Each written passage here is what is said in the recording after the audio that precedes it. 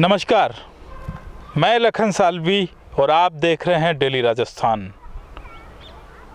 Daily Rajasthan के video लगातार देखने के लिए आप इस चैनल को सब्सक्राइब कर लीजिए, साथ ही बेल आइकॉन को भी दबा दीजिए, ताकि जैसे ही हम कोई नया वीडियो अपलोड करेंगे, वो तुरंत आपको मिल जाए। हम पहुँचे हैं भारतीय जनता पार्टी के एक और ऐसे मज़बूत और सक्रिय कार्यकर्ता के पास। जो गोगुंदा विधानसभा क्षेत्र में काफ़ी सक्रियता से यहाँ के आदिवासी वोट बैंक पर काफ़ी मज़बूत पकड़ इन्होंने बनाई है। ये है उप प्रधान पप्पू राणा भील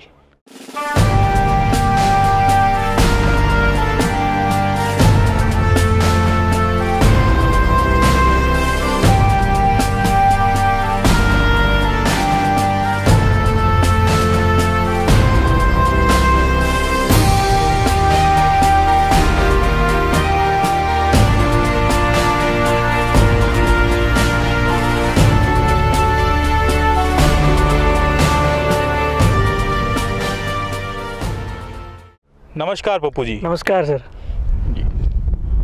पंचायती राज चुनाव को लेकर किस तरह का जोश है? बिल्कुल जोश है पूरा और भारतीय जनता पार्टी पूरी लगी हुई है और हम इस बार वापस बड़े पहले जो बहुमत था उससे भी ज़्यादा बहुमत से फिर दोबारा वोट बनाएँगे गोगुंदा में। साफ़ तौर पर दिखाई नहीं दे रहा है कि सक्रियता किस तरह की है भाजपा की। नज़र नहीं आ रही है। और काम चल रहा है। अब ये काम क्या है कि आ, किसी को दिखावेगा थोड़ी ये तो काम हमें कैसे बोर्ड बनाना है? हमारी जो कोर कमेटी है हमारे विधायक महोदय प्रधान जी मंडल अध्यक्ष जी सब बैठ के अपने अपने स्तर पे जो ज़िम्मेदारी है सब अपना अपना काम कर रहे हैं। और आप देखना आने वाले चुनाव में जो लोगों में उत्साह है जो और इन पाँच सालों में जो काम किया है उन कामों को देखते हुए और हमारी पूरी टीम मजबूती से लगी हुई है काम कर रहे हैं और अच्छे से हमारा बोर्ड बनेगा। पंचायत समिति में इस बार प्रधान की सीट महिला की है।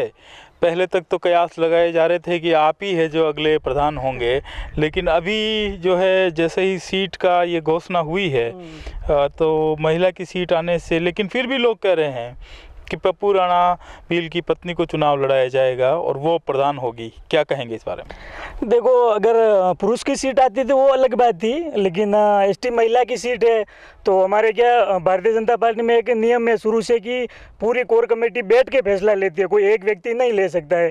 तो उसमें मेरा तो यही कहना है कि जो हमारी कोर कमेटी बैठेगी, हमारे विधायक महोदय, प्रधान जी और पूरे जो भारतीय जनता पार्टी की टीम है, और वो बैठ के जो फैसला लेंगे वो हमारा प्रधान होगा और हमारा कोई एक व्यक्ति वो नहीं हमारा कमल का फूल निशान है और कमल का फूल ही लेके हम लोग फ़ील्ड में जाए जाएँगे और वही हमारा प्रधान बनेगा। दावेदारी है आपकी मज़बूत? अब देखो इसमें दावेदारी का कुछ भी नहीं इसमें मेरा एक ही नियम है कि मैंने अगले जब भी मैं सक्रिय राजनीति में आया हूँ तब से मैंने हर जगह काम किया है जो भी संगठन ने काम दिया वो काम किया है और आगे भी जो भी संगठन मुझे जो ज़िम्मेदारी देगा वो मैं बड़े ही जि- इस तरह से आगे निभाइए वैसे ही आगे भी निभाता रहूँगा।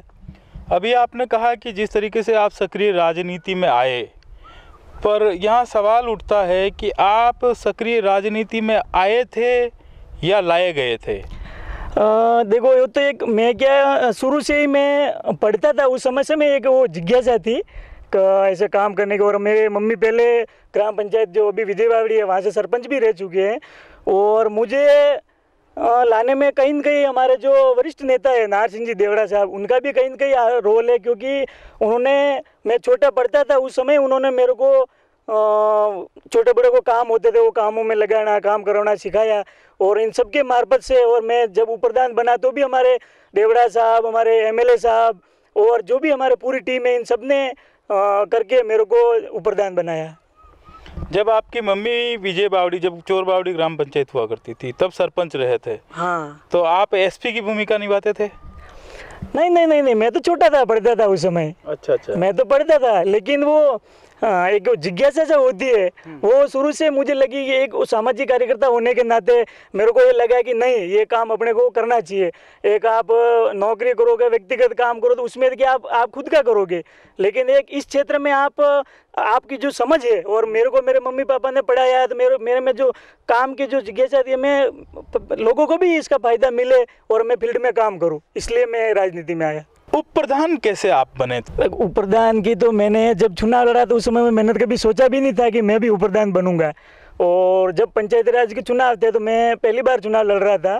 तो मेरे को हमारे जो विधायक महोदय आदरणीय प्रताप जी, उन्होंने कहा कि भाई, मैं शुरू से मैं यूँ सामाजिक कार्य में सब जगह, हर क्षेत्र में, सभी समाजों में काम करने का मुझे मौका मिला और शुरू से ये इच्छा है। तो विधायक महोदय ने मेरे को कहा कि भाई, तू थोड़ा पढ़ा लिखा और होशियार है तो तू अपने दूसरी जगह से चुनाव में जा, कहूँ, वहाँ से लड़, ताकि क्या कि हमारी दो सीटें कवर होगी, एक तो यहाँ भी होगी और दूसरी जगह से वो भी निकल जाएगी। तो मेरे को मोरवल और पाटिया जो सीट है, उधर से मेरे को चुनाव लड़ाया और मैं वहाँ से जीत के आया। उसके बाद में मुझे कोई पता नहीं था कि मैं उपप्रधान बनूँगा, लेकिन उसमें मैं विधायक महोदय की धन्यवाद दूँगा कि विधायक महोदय ने मेरे पे विश्वास जताया और उन्होंने कम उम्र का होते हुए मुझे उपप्रधान बनाया। तो कहीं ना कहीं उसमें हमारे विधायक महोदय और हमारे जो अभी प्रधान जी बने, ये भी थे। उसमें हमारे श्री दयालाल जी, लक्ष्मण सिंह जी झाला साहब और हमारे कमलेश जी, वकील साहब, ये बहुत सारे, पूरी टीम थी। इन सबने ये कहा कि छोरा अच्छा है और आगे काम करेगा, इसलिए इन सबने मिल मुझे प्रधान बनाया। अभी भी वो यही कहते हैं कि छोरा अच्छा है या बुरा हो गया है। नहीं नहीं नहीं, देखो उन, जो भी उनकी जो आदेश होते हैं, वो काम अपन करते हैं। और, विशेषकर मैं किस्मत वाला हूँ कि मुझे सभी समाज का एक, वो आशीर्वाद प्राप्त है। और हमें काम करने का मौका मिला है। और विधायक महोदय ने अगर भरोसा जताया उप्रधान बनाया तो मैं बिल्कुल ही उनके विश्वास पे खरा उतरा हूँ। पाँच साल हमने, प्रधान जी और हमने दोनों ने मिलकर अच्छे से पंचायत समिति चलाई है और आज जो विकास की गंगा बह रही है, विधायक महोदय ने प्रधान जी ने जो काम किया, उनके साथ में कंधा से कंधा मिला करके मैंने हर काम में उनका सहयोग किया है और आगे की हम जो भी ज़िम्मेदारी मिलेगी, उस हिसाब से हम सभी मिल काम करते रहेंगे और जो गोगुंदा की विकास की गति है, इसको हम आगे और बढ़ाते रहेंगे। आप खुद चुनाव लड़ने वाले हैं इस बार? आपने दावेदारी रखी है पंचायत समिति सदस्य की या जिला परिषद सदस्य की? नहीं, दावेदारी की कोई बात नहीं है। बस वही है कि जो भी अगर विधायक महोदय है और हमारे जो मंडल अध्यक्ष जी है और पूरी जो टीम है, अगर ये कहेंगे चुनाव लड़ना तो ज़रूर लड़ूँगा। और ये कहेंगे आपको ये काम करना, जो भी ये ज़िम्मेदारी देंगे, वो काम करेंगे। और एक, शुरू से मैंने देखा है कि भारतीय जनता पार्टी में ये परंपरा है कि वो जो भी ऊपर से जो ज़िम्मेदारी देते हैं वो हर कार्यकर्ता निभाता है और मैं भी जो भी ज़िम्मेदारी मुझे मिलेगी उसी तरह से मैं आगे बढ़ूँगा। क्या लगता है अगर आपको कोई ज़िम्मेदारी नहीं दी जाती है तो तब आप कौन सी ज़िम्मेदारी निभाएँगे? बिल्कुल बिल्कुल ज़िम्मेदारी नहीं क्या? संगठन में बहुत सारी ज़िम्मेदारी है। मैं मुझे कहेंगे ये काम करना वो करेंगे। ज़िम्मेदारी देनी नहीं देनी ये संगठन का काम है। संगठन अगर उचित समझेगा मुझे जो भी काम देगा उस हिसाब से करेंगे। संगठन की ज़िम्मेदारी अलग होती है और पंचायती राज में कोई ज़िम्मेदारी वो अलग बात होती है। अगर पंचायती राज में कोई ज़िम्मेदारी नहीं दी हाँ। ऐसे में क्या करने वाले हैं नहीं वो तो कोई ऐसी कोई विशेष बात थोड़ी है कि मेरे को नहीं दी नहीं भी देगी नहीं भी हो तो जो हमारे और भाई है उन सबको ज़िम्मेदारी देंगे उनके साथ मिल करके और हम सभी काम करेंगे। और विधायक महोदय ने अच्छा काम किया तो डब दूसरी बार विधायक बने तो हम इस आगे वापस जो उन्होंने इतने काम करे आप देख लो गोगुंदा में कितने बड़े बड़े काम हुए गोगुंदा में जो हमारे पास में ही पहले महाविद्यालय नहीं था उन्होंने महाविद्यालय खुलवाया है इस क्षेत्र को टीएसपी में लागू करवाया है ऐसे बहुत सारे जो बड़े बड़े काम है उन्होंने करवाए एक आदिवासी समाज के लिए जो एकलव्य मॉडल विद्यालय खुलवाया है और गाँव गाँव में सड़कें पहुँचे ऐसे बहुत सारे गिनाओ तो बहुत सारे काम है। हम्म, तो हम्म। उन जो काम है उनको हम सब मिलकर आगे बढ़ाएँगे। उप प्रधान रहते हुए संगठन का ऐसा कौन सा काम किया आपने भारतीय जनता पार्टी के लिए पिछले दिनों में, जिससे आपको खुद को संतुष्टि मिली और संगठन ने भी आपको काम को सराहा हो कि ये काम आपने बहुत अच्छा किया? देखो, संगठन का काम तो जब से समझदारी आई है, जो भी दिया है, क्या है, लेकिन अभी जो हमारे सदस्यता अभियान चला था तो उसमें यहाँ गोगुंदा में मेरे को सह प्रभारी नार सिंह देवड़ा साहब को प्रभारी और मेरे को सह प्रभारी बनाया था। तो हमने मिल करके मंडल अध्यक्ष जी के साथ में मिल करके और हमने सदस्यता अभियान में गोगुंदा मंडल हमारा, पूरे ज़िले में हमारा एक प्रथम रहा था। हमारा गोगुंदा और मावली और नादेश नादेशमा जो हमारे लक्ष्मण सिंह झाला साहब, ये तीन मंडल ऐसे थे जो प्रथम रहे थे। तो उसमें मैंने दिन रात जो भी हमारे मंडल अध्यक्ष जी ने आदेश किया, आदरणीय दयालाल जी मंडल अध्यक्ष थे और महामंत्री जी, इन सबने जो आदेश किया, उस हिसाब ने काम किया और मैं उस काम से संतुष्ट हूँ। हमने इतना काम किया था कि हमारा गोगुंदा आज पूरे ज़िले में हमें वहाँ भी शाबाशी मिली कि हमारे गोगुंदा मंडल ने अच्छा काम किया और उसमें मेरा भी अहम रोल था, हम सबने मिल करके अच्छा काम किया था। इन दिनों भारतीय जनता पार्टी को मजबूती देने के लिए और आने वाले राजस्थान पंचायती राज चुनाव में आपके उम्मीदवारों को जो है जिताने के लिए या आपके बोर्ड बनाने के लिए आप किस तरह के प्रयास कर रहे हैं अभी? मुझे अभी हम सभी अलग अलग जगह पे मीटिंगें कर रहे हैं। कहीं व्यक्तिगत कहीं जाना, आना, वो सारा काम हम कर रहे हैं। और वैसे फ़ील्ड मज़बूत है। और आज की तारीख में आपको देखा जाए तो लोग समझदार हैं। लोग विकास देख करके आगे काम करने वाले कैसे हैं? विधायक महोदय हमारे हैं एमपी साहब हमारे हैं। और अगर दोनों भारतीय जनता पार्टी के हैं और उस हिसाब से हमारे यहाँ प्रधान का बोर्ड अगर भाजपा का बनेगा और सारे बोर्ड बनेगा तो उस समय विकास अच्छा होगा। और लोग पिछले जो काम किया वो भी देखते हैं, क्योंकि भारतीय जनता पार्टी का पहली बार गोकुंदा में बोर्ड बना, हमारे आदरणीय पुष्कर जी प्रधान बने और मैं उप प्रधान बना। तो आप वहाँ से देखिए हमने कितना यहाँ पे विकास किया, एमएलए साहब, एमपी साहब, सबने मिल करके जो हमारा विकास हुआ तो उसको देखते हुए हम अलग अलग अभी जो हमारा काम है कि सब संगठन हम अलग अलग हमें जो ज़िम्मेदारी दी है उस हिसाब से हम काम कर रहे हैं फ़ील्ड में। और उसका रिज़ल्ट अच्छा आएगा। पंचायती राज चुनाव में युवाओं की भूमिका क्या रहने वाली है? युवाओं को कितना आप मौका देने वाली है आपकी पार्टी? आपको कोई आभास है उस चीज़ का? बिल्कुल आभास है क्योंकि आप देखो आज जो भारतीय जनता पार्टी का अभी भी जो बोर्ड है भाजपा का वो सारे युवाओं का बोर्ड है। और आने वाले समय में भी मुझे विश्वास है कि आ, सब मिल करके उसमें फैसला लेंगे कमेटी।